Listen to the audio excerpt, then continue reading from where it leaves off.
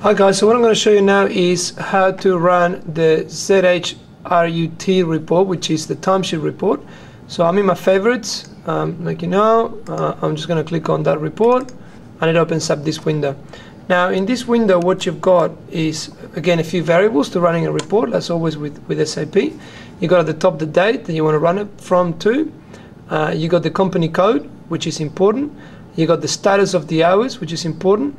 And then the next really important thing is the personal number down here. Yep. So I'm going to go one by one. So the date, say I'm going to run it for, um, I don't know, I'm going to run it for all of August. So I'm going to go 01.08.2008 to the 24th of August. I'm going to run until now. Um, company code, I'm going to go LP Australia because I'm going to run it for a few Australian people.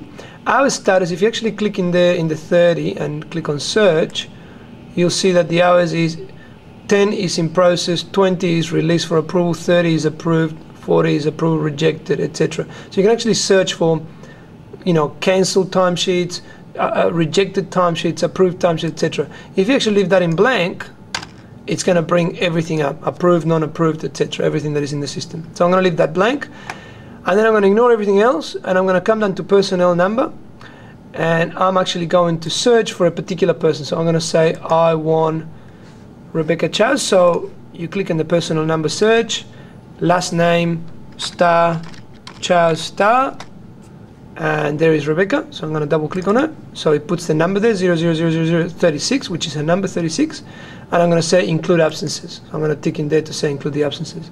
I'm going to go up to the little clock up here and executed and it runs the timesheet report for Rebecca for the month of um, for the month of August well at least what it's been of August. In here you can see a fair bit of stuff. You can see the date. You can see the work center that she belongs to. You can see um, different hours. You can see you know total hours and, and, and variances and the networks that she's put the time against. And if you keep scrolling across You'll see the project she put the time against. You'll see when she's put HR admin or, or, or other time that is not project. Uh, you can see her name. You can see who approved it. You can see the status of those hours. You can see Errol approved them. You can see when he approved them. You can see that she's part of the Melbourne office, etc., etc. So this is a quick way to run it. Um, what I'm going to do now is I'm actually going to show you how to run it for multiple people and I'm also going to show you how to put this into Excel. But this is a quick way of running something. You can then check in here and see what activities she's put it against. You can start seeing some of the activities, contracting, contracting, MS review, etc. And you can see the hours in here in the total hours column.